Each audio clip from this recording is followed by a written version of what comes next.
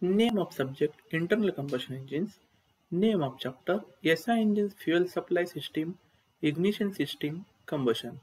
Name of topic numerical on carburetor dimension. Contents numerical on carburetor dimension. Dear friends, now here we are going to discuss the next variety of problem on carburetor dimension that is problem number 4. So with the help of the notes part, we can understand the another problem.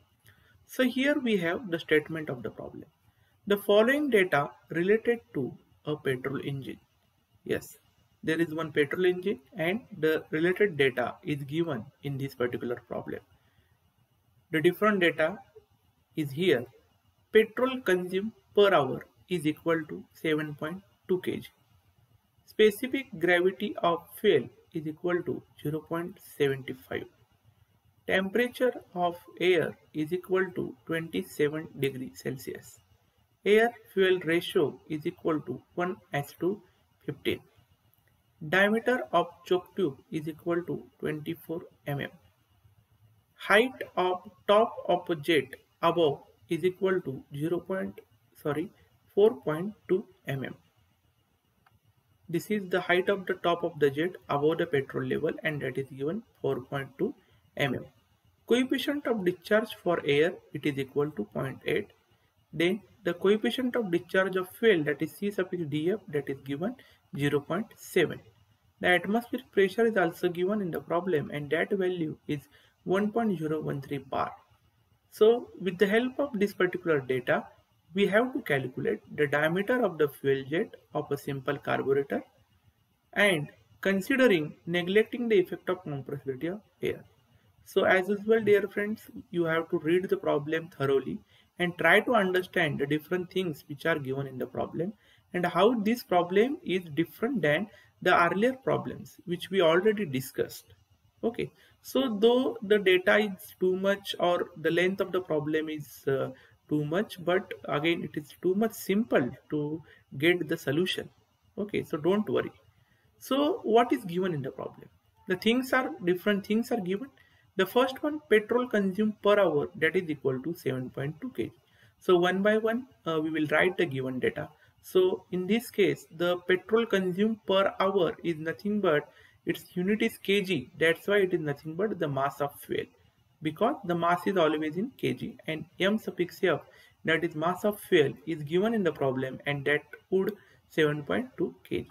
Similarly here the specific gravity is given 0.75 so from the specific gravity as we already discussed from the specific gravity we can calculate the density of fuel so just multiply with 1000 to this particular specific gravity so we can get 750 kg meter cube kg per meter cube that is density of fuel rho suffix f. So the temperature is given T1 so the temperature of air this is the initial temperature that's why we mentioned T1 that is 27 degrees Celsius. So convert it into the degree Kelvin so plus 273 so this is the standard value of uh, uh, the Kelvin. So 27 plus 273 that will come 300 Kelvin so the air fuel ratio is also given so in this case, the ratio of air to fuel or air fuel ratio, sometime uh, it can give 15 s to 1 or for creating the confusion, the ratio will give or it will provide in the problem that is like this one. So 1 s to 15. So you have to understand this 15 is nothing but the amount of air and 1 is nothing but the amount of fuel.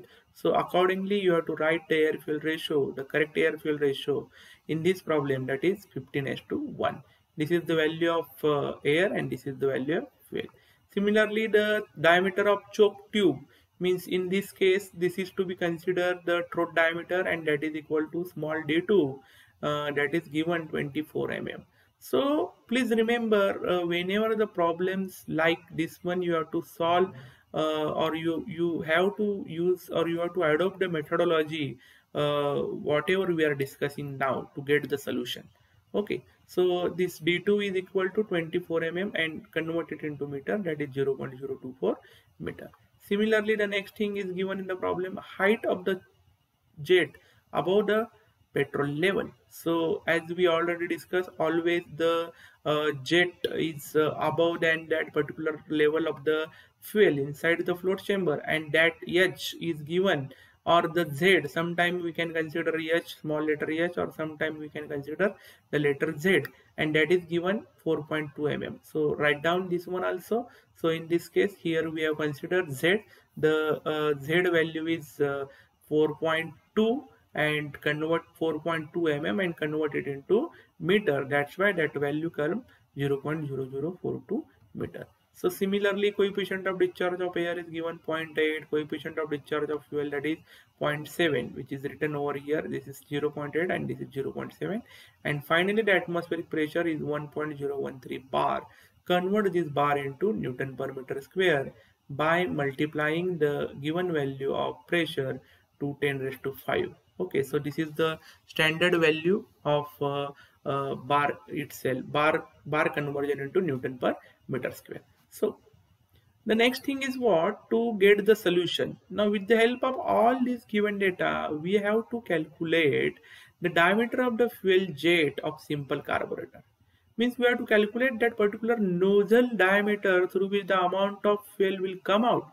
We can see diameter of fuel jet and again uh, here uh, there is no need to uh, identify the methodology to which methodology we can solve this problem because uh, in the problem it is already mentioned we have to consider the neglecting the effect of compressibility of air derivation. Okay so directly we have to use this particular derivation itself to get the answer of this particular problem. So the first step in this uh, kind of a problem in this case the density of air is not given okay. Density of fuel is given. Okay. Rho f is uh, we have calculated from that particular uh, specific gravity that is 0.75 but uh, the density of air is not given. So initially we have to find out. So we have the standard formula again. P1 v1 is equal to mrt1 so again we can rearrange this particular formula like this. If m is unit mass and that is equal to 1 so this p1 divided by rt1 like this and this r uh, is a universal gas constant. T is a temperature P is a pressure and this is that particular uh, uh, specific volume itself. So we can write the equation P1 by R uh, into T1 is equal to this uh, v1 which is present over here when it comes over here this m by v1 m is nothing but 1 so 1 by v1 we can write. So the next thing is what? We know the density is nothing but mass per unit volume. So the general formula of density is what? Mass per unit volume. So if the m is unit mass that is equal to 1 so that we can write density is equal to 1 by v and that is nothing but specific volume. Okay 1 by v that is nothing but specific volume we can say. So uh, put that particular thing 1 by v which is again present over here which is that 1 by v. So this is the 1 by v replace that 1 by v to the rho itself. Okay. So the density of uh, air we can uh, put over here that is p1 by rt1 okay. Instead of 1 by v1 we can write the density that is rho air that is nothing but density of air. So replace that 1 by v1 over here by the rho and we can write the equation p1 rt p1 by rt1 is equal to rho of air that is density of air so finally, uh, we can put all the values uh, which is given in the problem. The pressure is given 1.013 uh, into 10 raised to 5 uh, divided by this R that is the universal gas constant. The standard value is 0.287 and its formula, its unit is kilojoule per kg Kelvin. Uh, so kilo instead of kilo we are directly writing 1000 kilo means 1000 grams so 0.287 into multiplied by 1000 and temperature is uh, we have calculated at 27 plus, uh, 273 uh, that is nothing but in Kelvin so that is uh, 300 so this way we just put the values of pressure universal gas constant R and temperature T1 and we can calculate uh, the answer of density of air and that will come 1.176 kg per meter cube. Please check at uh, uh, check this particular uh, values in your calculator itself okay? So uh, the next thing is what? The next step uh, we have to use uh, mass of air because we are directly using this formula because uh, it mentioned in the problem we have to use the neglecting the effect of compressibility of air. We have to consider this one case so we directly use this formula of mass of air from that derivation. Coefficient of discharge of air it is given in the problem. Then uh, that's why we have to write over here. It's a coefficient. So multiply by a2 into under root of 2 rho a into delta pa so again we know uh, in this case mass of air to mass of fuel which is given in the problem. So 15 s to 1 so mass of air is 15 and mass of fuel is 1 because air fuel ratio is given that is 15 s to 1 so we can uh, again uh, simplify the things. If uh, mf value is already given in the problem so we can get the value of m suffix a. So put the value of mf in this equation because mass of fuel is already given in the problem that is 7.2 kg. Put that value in this equation and get the mass of air that is equal to 0.03 and its unit is kg per second. Okay so why we have divided it uh, by 3600 because we have to get the answer in kg per second. So there is a need to divide by 3600 so in this case uh, uh, the different values are given in the problem that is petrol consumed per hour. So this is per hour basis means this 7.2 kg per hour we can write that's why here is a need to divide by 3600 means water value will come and that will come in kg per second. So the answer will be for mass of air is equal to 0.03 kg per second. So uh, the next step is what? Again uh, put uh, the value of mass of air in this uh, above equation of mass of air and uh, put the another values and get the unknown so in this equation, the unknown is delta PA because uh, we have the value of rho A, we have the value of A2, CDA that is coefficient of discharge of air and we just calculated the value of mass of air. So put the calculated values and given values in this uh, equation and uh, finally the unknown that is delta PA we can calculate and that will come 2921.17 Newton per meter square. Please check this value with your own calculators that would come 2921.17 Newton meter Newton per meter square and this is the value of change in pressure of air that is delta suffix PA. So uh, the next step to solve uh, this problem is what? In this case, the pressure drop is not given. So if we uh, remember the earlier problems, uh, in different problems the pressure drops are given. But here the pressure drop is not given. So in such kind of cases, if pressure drop is not given or not mentioned in the problem, that time we have to consider change in pressure of air that is delta PA is equal to change in pressure of fuel that is delta PF. So we have calculated the value of uh, delta PA.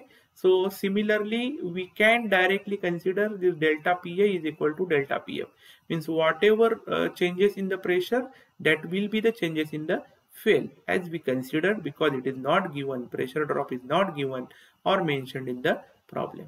So finally again uh, for this case we can use the formula of mass of fail that is nothing but coefficient of discharge of fail into a suffix f in under root of 2 rho f uh, in bracket delta pf minus z into z into rho f okay so put all the values in this case this af that is uh, area of fail orifice is unknown which we have to calculate the diameter.